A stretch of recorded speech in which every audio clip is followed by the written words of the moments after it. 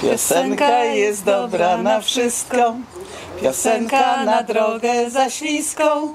Piosenka na stopę za niską. Piosenka podniesie ci ją. Pararara. Pararararam. Szanowni Państwo, witam Państwa w Ogrodzie Botanicznym w kawiarni Flora Cafe w Warszawie.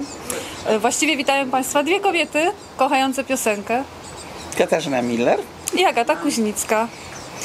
Kasiu, spotkałyśmy się, bo spotkała nas piosenka i uwielbiamy piosenkę i zielon, zielon, E, zieleń wokół. Uwielbiamy się śmiać, uwielbiamy śpiewać i lubimy zieleń wokół i lubimy śpiewać dla ludzi, przy ludziach, z ludźmi. No właśnie, Kasia, od kiedy śpiewasz? Śpiewałam zawsze, bo miałam śpiewającego tatę e, i śpiewałam na ogniskach, na Mazurach, na wodzie, na, na akademiach szkolnych, w teatrze szkolnym, potem w studenckim. No i tak w lesie, wiesz, chętnie. A pisałam piosenki dopiero od nie wiem ilu, kilkunastu czy dziesięciu lat, co jak na moje długie życie.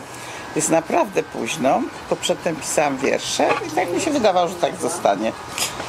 A tu się pojawiły piosenki, bo mnie się wszystko pojawia samo. Płyniesz z prądem. Tak, jak płynę, w ogóle chcę powiedzieć ludności, że jak się płynie naprawdę, czyli jak człowiek, wiesz, żyje tak jak lubi i potrafi i jak chce, no to się po prostu pojawiają te rzeczy, które są dla niego. O. I okazało się, że piosenki są też dla mnie.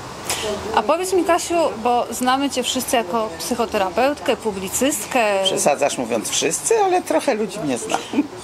Dobrze, natomiast y, no to jednak trzeba mieć odwagę, żeby nagrać płytę z muzykami i potem wyjść przed publiczność i zaśpiewać. To chyba Dziękuję. trochę Ja, co innego. ja miałam, wiesz, tak, pierwsze e, odważne próby to były, jak zaczęłam czytać moje wiersze ludziom i potem je wydawać, a później jak zaczęłam śpiewać, to ja śpiewałam w klubach różnych, zresztą w dobrych, różnych, znanych klubach e, i nie myślałam o płycie, ale później jakoś wyszło fajnie i e, odwagą jest każdy kolejny krok, ale odwagą w ogóle jest życie, wiesz, no jak się coś robi, co nas rajcuje, a mnie to rajcuje, to jednocześnie się boję i jednocześnie się cieszę.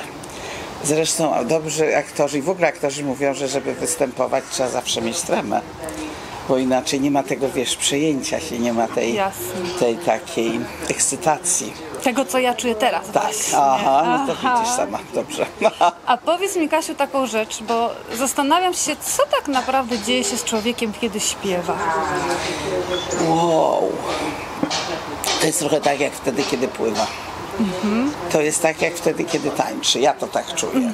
Oczywiście to jest trudniejsze, bo jeszcze trzeba e, wiesz, e, pamiętać tekst, trzeba, e, trzeba się nie zgubić w rytmie, a ja nie jestem zawodową piosenkarką, więc te moje występy są nie takie częste, żebym weszła, wiesz, w taki, taki rutynowy sposób, wiesz, Jasne. śpiewania, co może i dobrze, bo to jest moja przyjemność, a nie moja praca. E, co jeszcze? Chociaż moja praca też jest moją przyjemnością. E, co się czuje, wiesz? Co, no czuję się taki rodzaj, ja czuję taki rodzaj dziecięcej radości y, z poczuciem poważnego przekazywania czegoś, co chcę przekazać.